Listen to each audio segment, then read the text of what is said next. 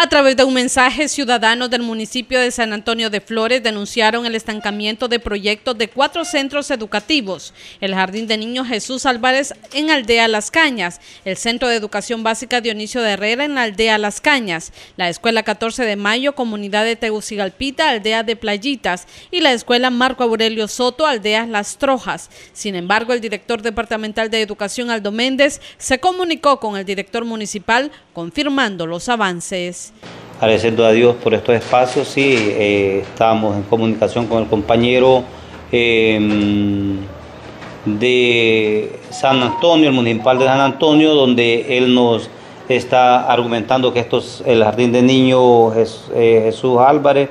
el Centro de Educación Básica de Dionisio Herrera, la Escuela 14 de, Mayo y la Escuela Marco los Soto, bueno, están ya en proceso de se restablecieron todos los proyectos y está en proceso de,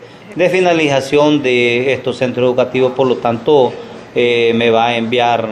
fotografías, el cual yo se las voy a enviar a ustedes para para confirmar y que usted dé veracidad de la información que está enviando. Hay preocupación por los padres de familia porque justamente ellos hablan de un presupuesto asignado para el mismo, pero que no se brindaba información. Sin embargo, pues usted da fe de que este proyecto, estos proyectos están en ejecución. Claro, eh, según la información que el municipal nos acaba de dar, eh, nos dijo que ya los perfiles de los proyectos se los tienen todos los directores de los centros educativos y que ellos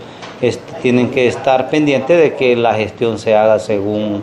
la obra y el presupuesto que está asignado. Y como prueba de los trabajos y avances se enviaron imágenes de los trabajos de reconstrucción de los centros educativos antes mencionados. Para Metro TV Noticias, el canal de la familia y Radio Ilusión en la 107.5, soy Karen Sauceda.